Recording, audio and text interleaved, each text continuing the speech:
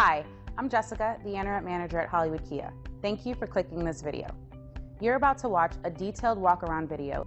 In this video, we will show you the condition of the vehicle's exterior and interior. Enjoy the video.